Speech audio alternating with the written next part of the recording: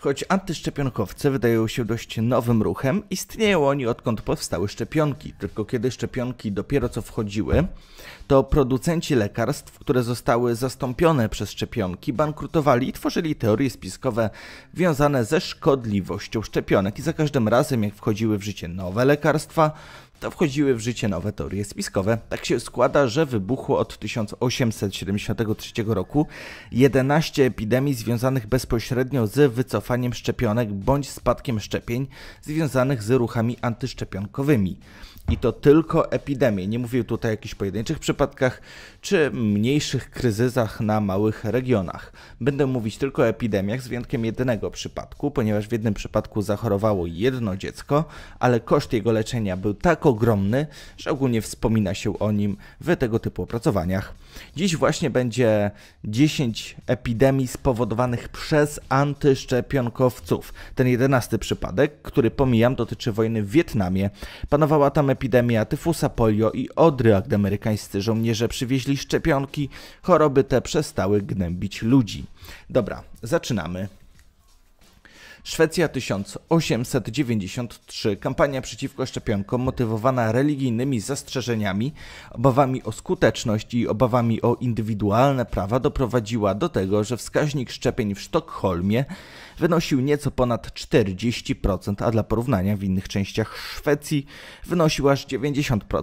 W 1873 roku rozpoczęła się poważna epidemia ospy. Doprowadziło to do wzrostu liczby przyjmowanych szczepionek i zakończenia epidemii. Niestety nie zachowało się zbyt dużo informacji na ten temat. Wielka Brytania 1970-1980 w raporcie z 1974 roku, w którym przypisano 36 reakcji na krztuścową szczepionkę na kaszel, wybitny naukowiec zajmujący się zdrowiem publicznym twierdził, że szczepionka była tylko nieznacznie skuteczna i zakwestionował, czy jej korzyści przeważają nad ryzykiem, a rozszerzone relacje telewizyjne i prasowe wywołały ogólny strach Wielkiej Brytanii. Spożycie szczepionki w tym kraju zmniejszyło się z 81% do 31%, po czym nastąpiły epidemie krztuśca, co doprowadziło do śmierci niektórych dzieci. Opinia medyczna głównego nurtu nadal wspierała skuteczność i bezpieczeństwo szczepionki. Zaufanie publiczne zostało przywrócone po opublikowaniu krajowej ponownej oceny skuteczności szczepionki. Wychwyt szczepionki wzrósł następnie do poziomu powyżej 90%, a zapadalność na choroby dramatycznie spadła. Szwecja 1979-1996. W okresie krytyki szczepionek na krztusiec Szwecja zawiesiła szczepienia przeciwko tej chorobie. Brak obowiązkowych szczepień przeciwko krztuścowi w latach 1979-1996 sprawił, że 60% dzieci w tym kraju zachorowało na tę chorobę przed ukończeniem 10 roku życia. Jednakże wzmożone finansowanie służby zdrowia pozwoliło utrzymać śmiertelność dzieci na poziomie jednego rocznie. W 1996 roku rząd Szwecji stwierdził, że taniej zaszczepić dzieci mieć spokój niż prowadzić kosztowną batalię z chorobą. Holandia 1999. Społeczność religijna naciskała na wycofanie szczepionek, co rząd Holandii zrobił. Wybuchła epidemia otry, która w ciągu roku doprowadziła do 2996 zachorowań, 68 ciężkich przypadków i 3 zgonów. Populacja w kilku prowincjach dotkniętych chorobą miała wysoki poziom szczepień, z wyjątkiem jednego z wyznań religijnych, które tradycyjnie nie przyjmują szczepień. 95% tych, którzy zachorowali na odrę, było nieszczepionych.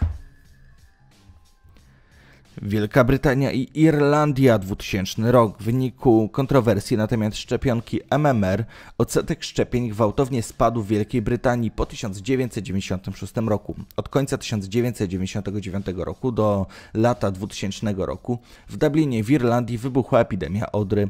W tym czasie krajowy poziom szczepień spadł poniżej 80%, a w niektórych częściach północnego Dublina Poziom ten wyniósł około 60%. Zanotowano 300 przypadków zachorowań, troje dzieci zmarło, wiele innych było w ciężkim stanie, niektóre wymagały wentylacji mechanicznej, aby wyzdrowieć.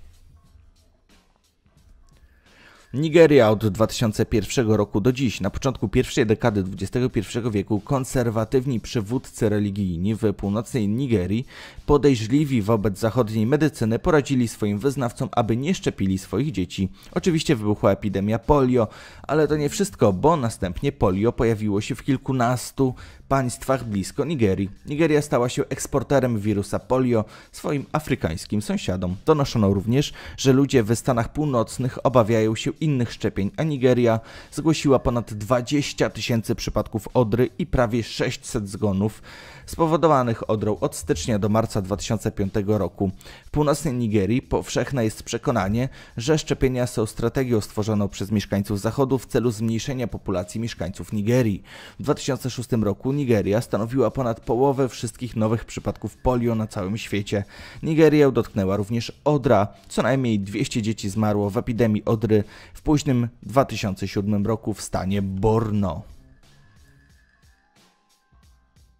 Stany Zjednoczone od 2005 roku do teraz. Nie jest to jedna epidemia, ale od czasu do czasu w USA wybuchają małe epidemie. Ogólnie w 2000 roku ogłoszono w Stanach Zjednoczonych, że odrę udało się całkowicie wyeliminować. Oczywiście dzięki szczepieniom, więc każda epidemia odbija się głośnym echem. Pierwsza epidemia miała miejsce w 2005 roku w stanie Indiana. Została przypisana rodzicom, którzy odmówili zaszczepienia swoich dzieci. Centra Kontroli i Zapobiegania Chorobom USA poinformowały, że trzy największe największe epidemie odry w 2013 roku zostały przypisane do skupisk ludzi, którzy byli nieszczepieni z powodów swoich przekonań. Liczba przypadków w 2014 roku wzrosła czterokrotnie za sprawą obecności nieszczepionych gości w Disneylandzie w Kalifornii. Około 97% przypadków w pierwszej połowie roku zostało potwierdzonych jako związane bezpośrednio z kontaktem nieszczepionych ludzi z Filipin. Od lipca 2016 roku trzymiesięczna epidemia odry dotknęła co najmniej 22 osoby. Została rozprzestrzeniona przez nieszczepionych pracowników ośrodka zatrzymań w Arizonie. Wiosną 2017 roku w Minnesocie doszło do epidemii odry. Od 16 czerwca 78 ludzi zostało zakażonych odrą, z tego 71 było nieszczepionych. Od jesieni 2018 roku do początku 2019 roku w stanie Nowy Jork wybuchło ponad 200 potwierdzonych przypadków odry. Wiele z tych przypadków przypisano ultra ortodoksyjnym społecznościom żydowskim o niskim wskaźniku szczepień. W styczniu 2019 roku stan Waszyngton zgłosił wybuch co najmniej 73 potwierdzonych przypadków odry, w większości w hrabstwie Clark, który ma wyższy wskaźnik zwolnień od szczepień w porównaniu z resztą stanu. Walia 2013 rok do teraz. W 2013 roku ognisko Odry wystąpiło w walijskim mieście Swansea. Zgłoszono jedną śmierć. Niektóre szacunki wskazują, że chociaż przyjmowanie MMR dla dwulatków wynosiło 94% w Walii w 1995 roku, to w 2003 roku spadło ono do poziomu 67% w Swansea, co oznacza, że region miał wrażliwą grupę wiekową. Jest to związane z kontrowersjami dotyczącymi szczepionki MMR, które spowodowały, że znaczna liczba rodziców obawia się, że ich dzieci otrzymają szczepionkę MMR. 5 czerwca 2017 roku w Walii, w mieście Newport, wybuchła nowa epidemia odry.